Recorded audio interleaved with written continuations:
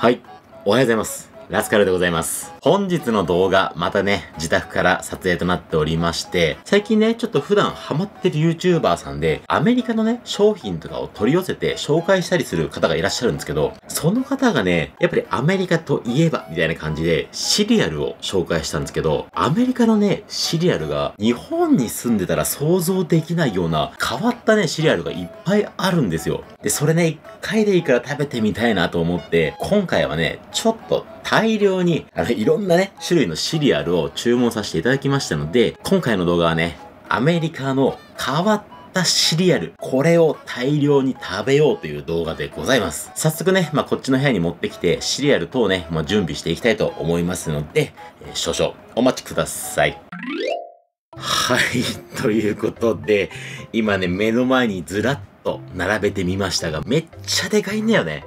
一個一個がね、でかいのよ。まあ、まずね、この中でも一番ちっこいやつ、これね、ちょっとチョコレートがけのやつらしいんですよ。ただ、これですらね、ちょっと皆さんここ見えますかね ?454g。これ一箱だよ。今日はね、まあ、確実にここに並べてあるものは食べきれませんが、まあ、シリアルなんでね、取っとけるんで、とりあえずね、気になったものを、えー食べれる分だけね、えどんどんとね、食べ進めていこうと思います。で、ひとまずね、これいきたいんですよね。これ、アメリカでは結構メジャーな商品らしいんですけど、このさ、日本では見たことないカラフルなシリアなんだよね。ちょっと味が想像できないんですけど、まずね、これ食べていこうと思います。これ皆さん見えます？大きさもすごいですけど、色よ。何この色？ちょっとね、パッと見なんですけど、今のところ食欲は湧いてないですね。あー。あー。色もそうだけど、香りも、うん、うん。なんかね、なんて言ったらいいんだろう。ラベンダーみたいな匂いがする。こんな感じっすね。ちょっとね、ひとまず、このまんまね、食べてみますね。よいしょ。と、改めて、いただきますと、匂いがね、あの、お部屋の消臭剤の匂いがするんだよね。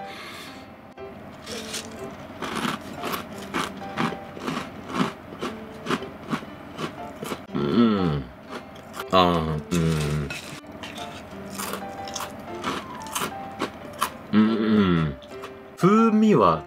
とシトラスみたいな感じかな。思ったよりもね、甘みは少ないですね。なんか香ばしさというか、そっちが強いんですけど、美味しいかって聞かれると、うーん、難しいね。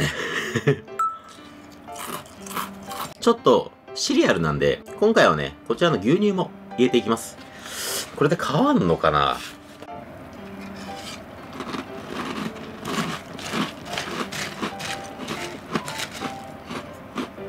なんだろうな。間違いなく体験したことのない味ではあるんですけど、うーん、牛乳につけることによって、そのシトラスっぽさというか、なんかね、ケミカルっぽさっていうかな、それがね、余計染み出てきて、うん、なんか香りがね、やっぱ、牛乳入れた後の方が気になるかなって感じです。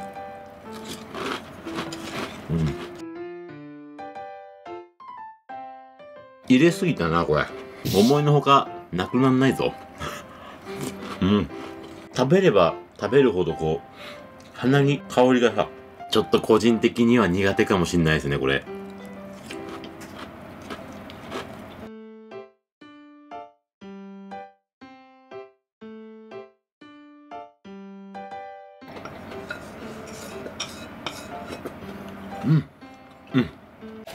続いて、これ甘めのいこうかな。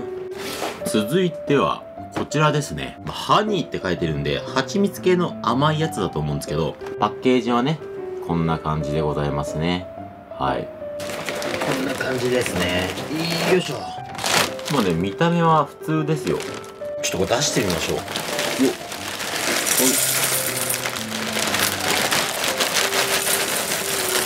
よいしょ。一応ね、あの、匂いがさっきのケミカルさみたいな全くないですね。こんな感じ、見た目は。ちょっとこれいただいちゃいますね。あ、うまっ。あ、これうまっ。あ、これはうまいわ。程よい蜂蜜の香りそれにね、なんか焼いたトーストみたいな香ばしさがあるんで、これうまい。ちょっとこちらにも牛乳の方かけていきましてと。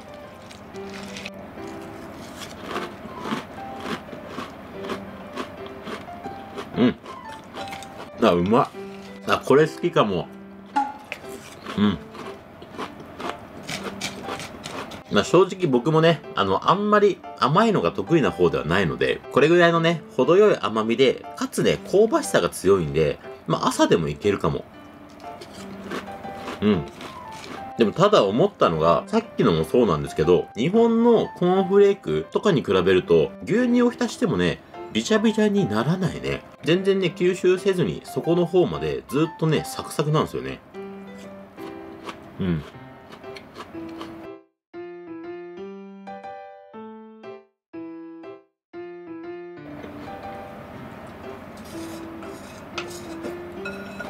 うん。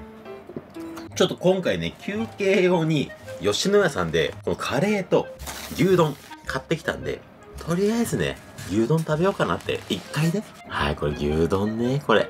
あー、もう最高にうまそう。やっぱりこういうのさ、甘いの続きだとめちゃめちゃうまそうに見えますよね。うわ、とんぼーわ。いや、うまそう。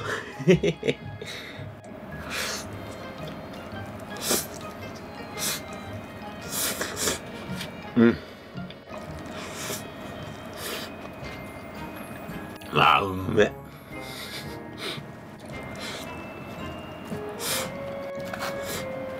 うんうんうんということで、ただいまね、えー、牛丼の方完食しましたんで、えー、続きいきたいんですけど、でもこれいっちゃおう続いてはね、こちらの子ですね。まあ、これとは別に、このね、後ろにもチョコ用意してあるんですけど、最初にね、このバニラいってみましょう。香りは優しいな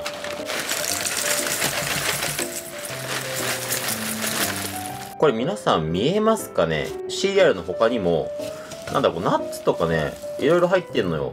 これは確かに朝食にはすごくいいのかも。あとは甘さがどうかって感じですね。じゃあちょっとひとまずこちらもそのままいただきますね。うん。あ、すごい。味は美味しいんだけど、水分全部持ってかれた今口の中の。でもこれはもう牛乳入れる前提のやつですね。口がパッサパサだわ。牛乳入れるとね、こんな感じですね。うまそう。うん。これは確かに朝食向きっすね。うん。うん、うん、うん。不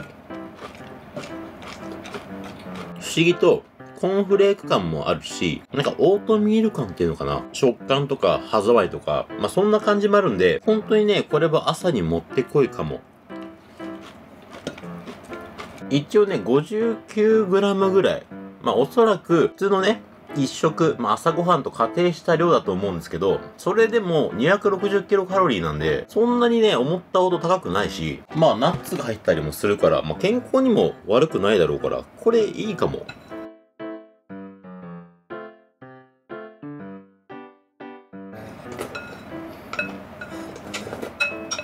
うん。そしたらこちらの3つ目も完食ではございますが、カレー食べていいですか？よっ。そしたらこちらも、よいしょ。うわ。あー、もうこれ、絶対うまいやつですね。牛とカレーよ、だってこれ。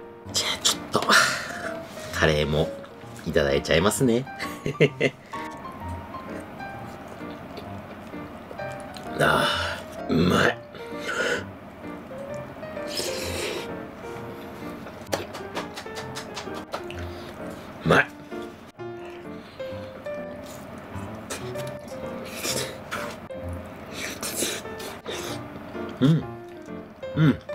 秒でなくなってしまったということでまあね牛丼カレーも食べてシリアルね、3種類完食したんですが、続いてのね、シリアルも食べていきましょうということで、ずっと気になってんだけど、これでかすぎんだよね、これ。皆さんね、正面から見てるからわかんないと思うんですけど、これ？いくよ、これ。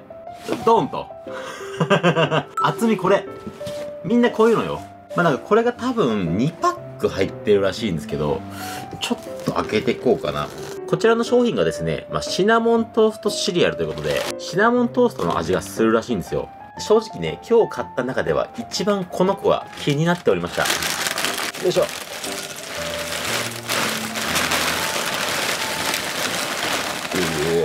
見た目はね、なんか、いつもと違う感じ。見たことないような感じですね。いただきます。うん。え、うまっ。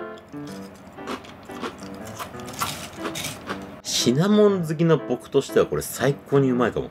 全然、そのまんまでもうまい。うん、うん。そしたら、この子にも牛乳注いでいきましょう。よっ。こんな感じでございますね。まあ、うまそうだよね、これも。うん。あ、うまいうまい。うん。確かにね、牛乳に浸すと、シナモントースト感、これがね、増しますね。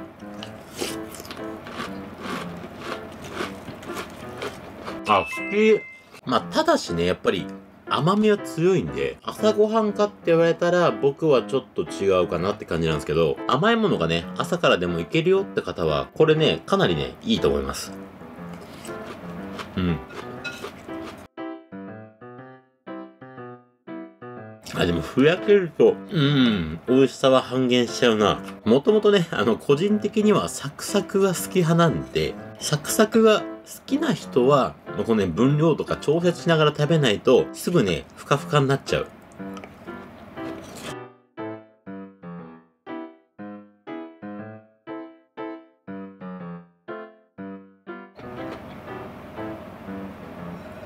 うん。ということでですね、えー、ただいま、4種類食べ終わったんですけど、もういい感じにお腹いっぱいかな。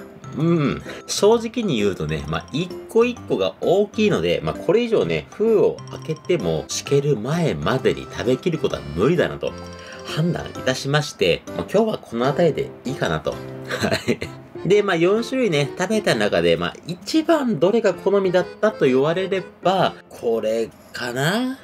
まあ、ちょっとね、甘みが結構強めな部分があるので、好き嫌いはね、分かれると思うんですけれども、かなりね、あのシナモンの香りもしっかりありましたし、まあ、シナモン好きのね、僕としては、まあ、これが一番かなって感じでございます。まあ、若干ね、これネットで買うときは、もちろんね、日本のシリアルとか買うときよりも全然ね、割高になってしまうんですけれども、まあ、一回ね、こういったものを買って経験してみるのも、まあ、いいんじゃないでしょうかということで、えはい。